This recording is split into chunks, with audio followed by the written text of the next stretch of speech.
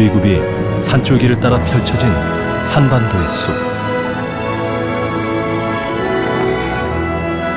지금 이 숲의 주인공은 과연 누굴까?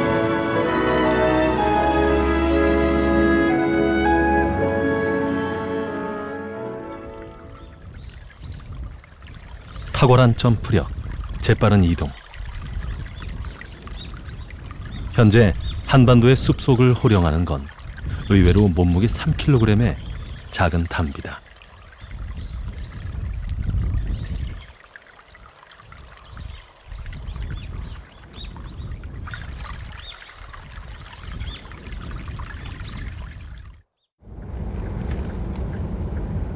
베일에 가려진 담비를 추적하는 첫 여정은 속리산에서부터 시작됐다. 인적 드문 깊은 숲에 살고 있을 법한 담비. 야생의 활동이 고스란히 기록되는 겨울 설사는 담비를 추적하기에 제격이다. 나머지는 5cm. 다섯 개의 발가락이 선명하게 찍힌 흔적. 발길이 5cm의 성체 담비 발자국이다.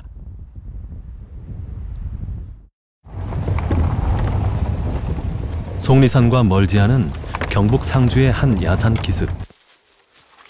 담비가 자주 나타난다는 제보를 받았다. 신출귀몰하게 나타났다가 사라지기를 반복하는 담비를 만날 수 있을까? 위장막을 치고 기다려보기로 했다.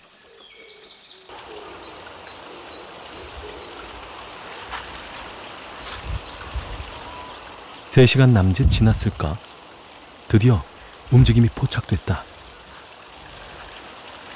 긴 꼬리, 황색 몸 빛깔이 선명한 담비다.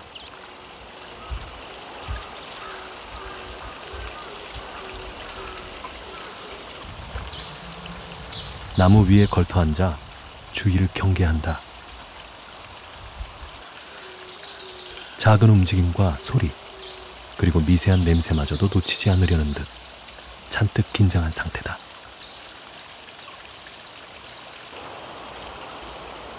담비가 이렇게 길게 한 자리에 머무는 건 극히 드문 일. 먹잇감이라도 찾는 것일까?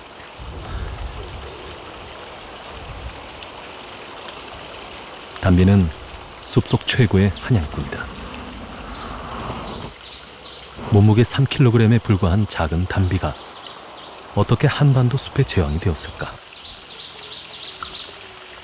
강인한 생존력의 비결은 탁월한 점프력에 있다. 유연한 등뼈와 긴 꼬리를 이용 마치 새처럼 나무 사이를 가볍게 이동할 수 있다. 한 시간가량 지났을까? 담비는 나무 주위를 경계하다 나무 밑동 속으로 사라졌다.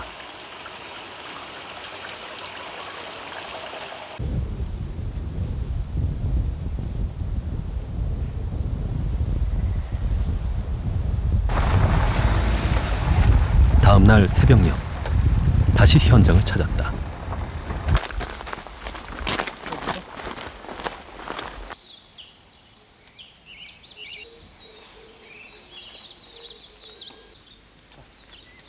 동이 트고 담비가 떠난 자리 꽤 큰 구멍이 나 있다.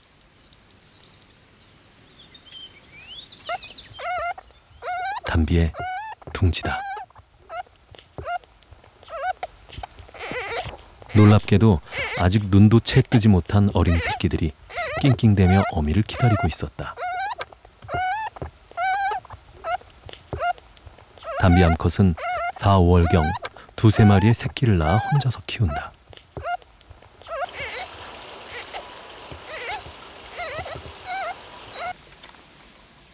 담비의 새끼 양육을 관찰하기 위해 무인 카메라를 설치하고 기다려 보기로 했다.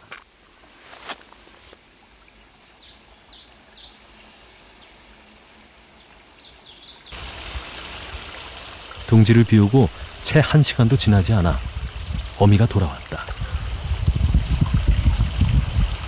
이번에도 곧바로 둥지로 들어가지 않고 주위를 경계한다.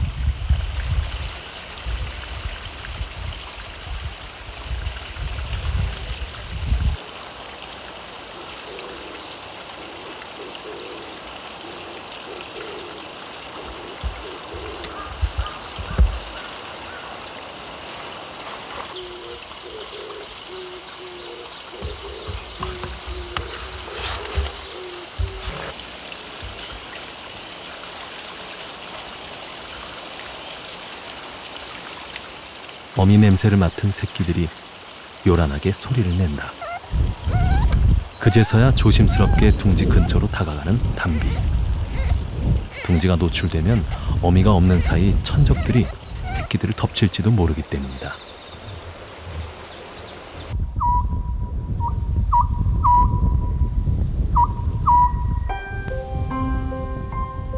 그날 밤 어미는 잠들지 않았다.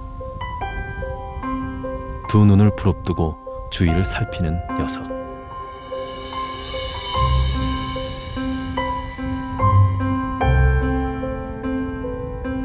새끼가 있는 둥지 속으로 들어간다. 하지만 곧장 머리를 내밀며 주위를 경계한다. 다시 둥지로 들어간 어미. 그런데 고개를 내민 어미의 입에 새끼가 물려 있다. 둥지를 옮기려는 것이다.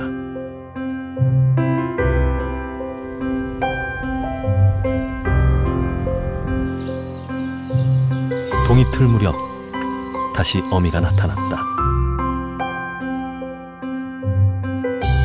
담비는 2, 3주에 한 번씩 둥지를 옮긴다. 둥지에 생기는 벼룩과 천적을 피하기 위해서다. 하나 둘 사라져가는 한반도 숲의 지배자들. 천적과 밀렵의 위협 속에서도 담비는 아직 한반도의 숲에서 살아가고 있었다.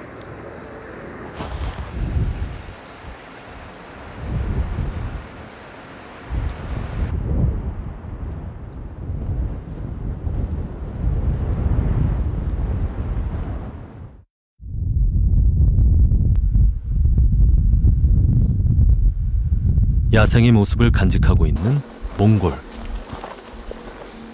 그곳 숲에서 사향노루를 만났다.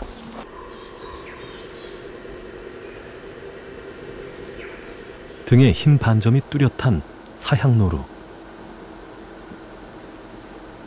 수컷은 뿔 대신 송곳니가 길게 자라 입 밖으로 튀어나왔다.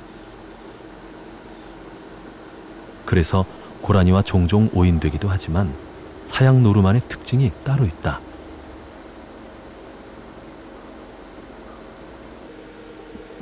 짧은 꼬리와 발굽 뒤에 난 또 다른 작은 발굽.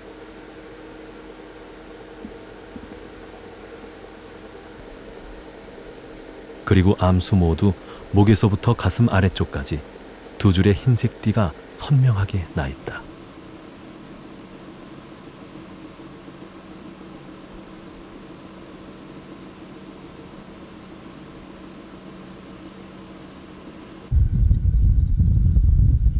사향노루가 특히 좋아하는 먹이는 송라. 소나무에 기생하는 겨우살인 송라는 오염에 민감해 공기가 맑은 곳에서만 자란다. 사향노루는 뾰족한 발굽을 이용해 높은 가지에 난 어린 싹이나 겨우살이 같은 지의류를 주로 먹는다. 소나무 겨우살이 송라는 과거 우리나라에도 흔했지만 오염으로 사라졌고 여기에 값비싼 약재로 쓰이는 사향을 노린 밀렵으로 인해 사향노루는 멸종 위기종이 되고 말았다.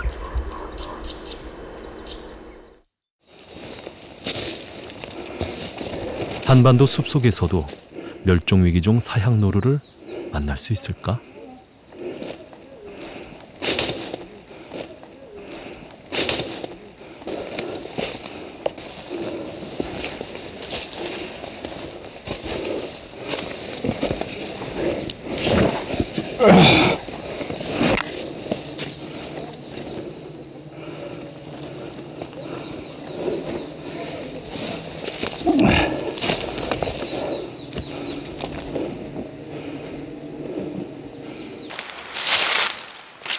한 번 서식지가 드러나면 다시는 그곳으로 돌아오지 않는다는 사향노루. 위장막을 설치하고 기다려 보기로 했다.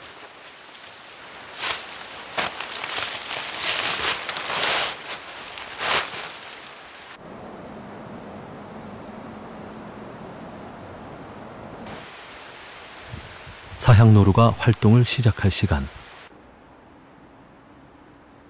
숲속은 숨죽인 듯 고요하다. 그러나 사향노루는 끝내 모습을 드러내지 않았다.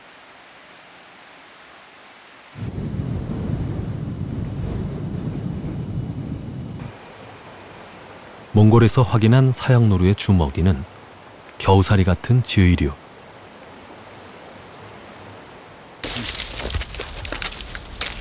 날이 추워지자 숲의 참나무 겨우살이가 조금씩 생기기 시작했다.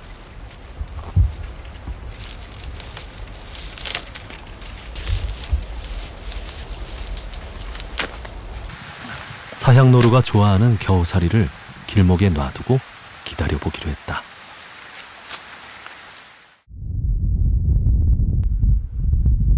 일주일 뒤 겨우살이를 놓아둔 장소를 다시 찾았다. 겨우살이가 과연 사양노루를 불러들였을까?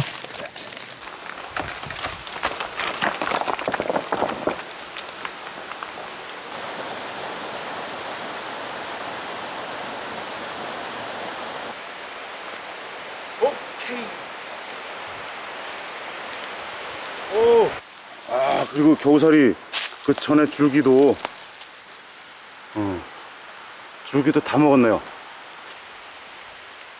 과연 사양노루가 먹은 것일까? 어 아 이거 보인다. 여기 여기. 한밤중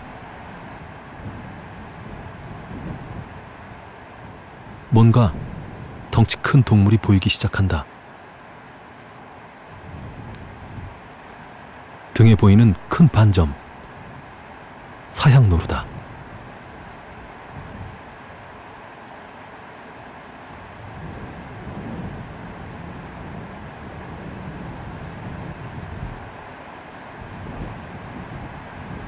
한때 한반도에서 사라졌다고 여겨져 온 사향노루.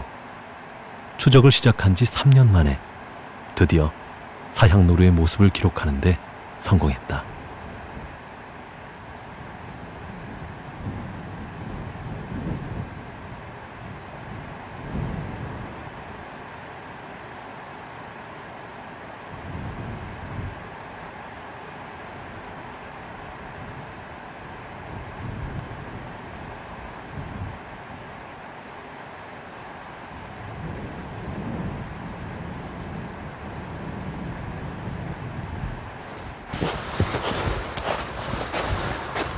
사향노루가 즐겨 먹는 겨우살이를 놔두고 다시 한번 기다려보기로 했다.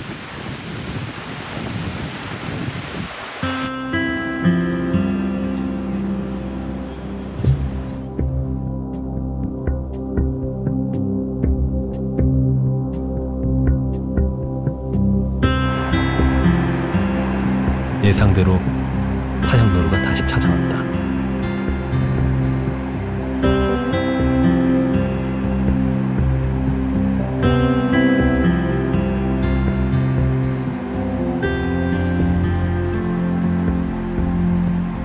무척 배가 고팠는지 겨우살이를 쉴 새 없이 먹어댔다. 쉼 없이 먹는 중에도 행여 천적이 나타날까 긴장을 늦추지 않는 모습.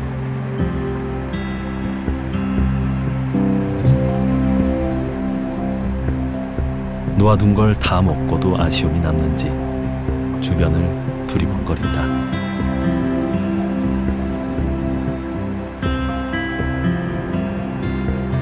그리고 먹던 자리에 소변을 봐 냄새 흔적을 남긴다.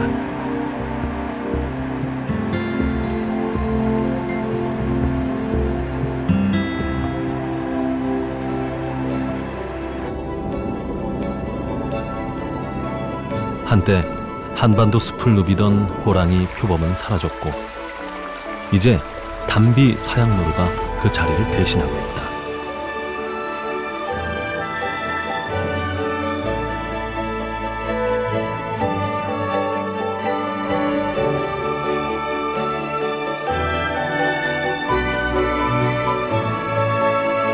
이들이 더 이상 슬픈 숲의 전설로 남지 않길 희망해 본다.